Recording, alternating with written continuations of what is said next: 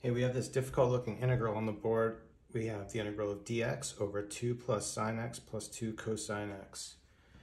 If you're, if you were able to solve this using trig identities or some other method, let me know in the comments. I'd be interested. But I just went, I didn't look into that. What I did is I wanted to make the substitution t equals tan over x over 2.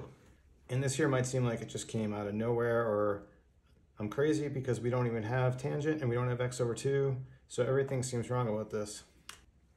This is known as a Weierstrass substitution over here. Um, so this is when we do a half angle substitution. So we're typically using it in cases like this where we have a trig integral where we're adding uh, functions in the denominator. Now you could try to use it in other cases, like when you're multiplying trig functions or more, you could pretty much try to use it in any case but I find that it usually makes the problem harder. It's only these kind of specific cases where it really helps us. Okay, so now that we've made the substitution, we gotta figure out how do we actually use this because what's our dx gonna be? What is sine x gonna be? What is cosine x? Um, what are we gonna do from here? Well, to start with, we can just use the um, arctan to write this a little different. So we can write this as tan inverse tan is x over 2. Then we can multiply a 2 on both sides. So we've isolated our x. Then we can say dx is going to be 2 times the derivative of inverse tangent, but we know what that is. That's just going to be 1 plus t squared. Okay, so now we found one useful value that we can use in our substitution. Now what about the fact we need uh, something for sine and cosine, but we also need to get rid of this half angle because we can't, so it makes it a little difficult to work with that way. So what we can do is draw a right triangle where the angle we're looking at is going to be x over 2. And then if that's the case, our opposite over adjacent is just going to be t over 1, which is the same thing as t.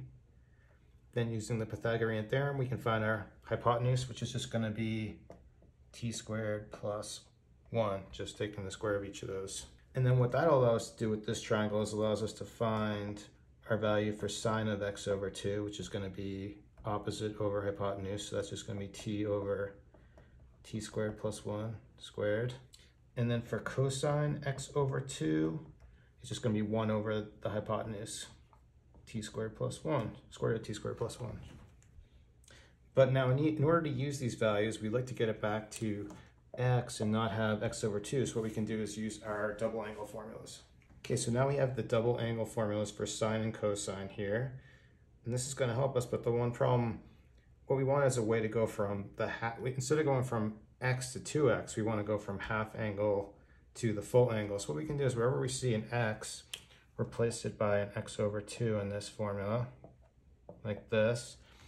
And then if we do that here, you'll notice the 2's cancel and the 2's cancel, and we have exactly what we want. So now that we have a formula for sine, and x, sine x and cosine x, and that's what we're going to need in the problem when we get back to that. And we have, we know all these values here from over here, so we'll just use those and kind of plug them in. Okay, so looking at our sine of x formula, I filled in my values here for sine x over 2, cosine x over 2 using that. So now we just multiply that across, and we're going to have for sine x 2t, multiplying t square root of t squared plus 1 times itself, we just get back t squared plus 1. Then here for this one, when we square it, we're going to eliminate the square root here in the um, denominator and have the same uh, denominator. So when we actually put this all together, we're going to have 1 minus t squared over 1 plus t, t squared. Okay, so now I've summarized all the values that we found over here to the right. This is everything we need to solve this problem. I also just threw in here tan of x which I just got by dividing our sine expression by our cosine expression. And you could do the same thing for secant, just taking the reciprocal of cosine and cosecant. You could take the reciprocal of sine. Okay, so now let's just do the substitution and see how this thing is gonna work out. So we're gonna have, I'm just gonna, we'll put just a one on top. Then we're gonna have our two plus sine of x is gonna be this value here. So that's gonna be 2t over t squared plus one plus 2 times cosine x is going to be 1 minus t squared over 1 plus t squared. And then we just need our dx right here. So that's going to be 2 over uh, 1 plus t squared.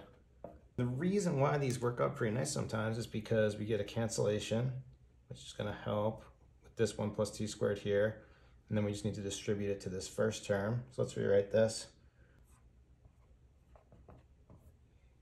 Then next, let's just to see if we can clean up this denominator we're gonna have here, we'll distribute, we're gonna have two plus two t squared plus two t, there's a lot of twos in this, plus two minus two t squared. Then we notice these the two t squareds cancel here. Um, we could just cancel every two, right? And then what we're left with is gonna be dt, I know it's confusing because we have like a one there and a one there, so this is gonna be t plus t two in the denominator.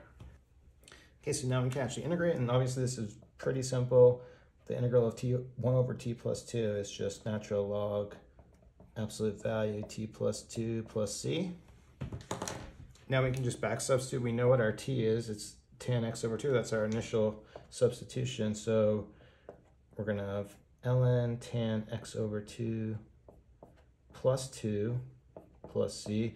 So this is perfectly good answer right here. But what we can do if we want to get rid of this half angle, we can use this identity. We have this identity that says tan x over 2 equals 1 minus cosine x over sine x. We also could actually simplify this a little more. We could write this a different way. We could write this as cosecant x minus cotangent x, and then just put that back in our answer. So, so for our final answer, we can have ln absolute value cosecant x minus cotangent x plus 2 plus c, and we're done. I got this problem for my quiz, Weierstrass substitution. I'll provide a link in the description. It's got a lot of good problems like this one. Thank you for watching. Please like and subscribe. Have a great day.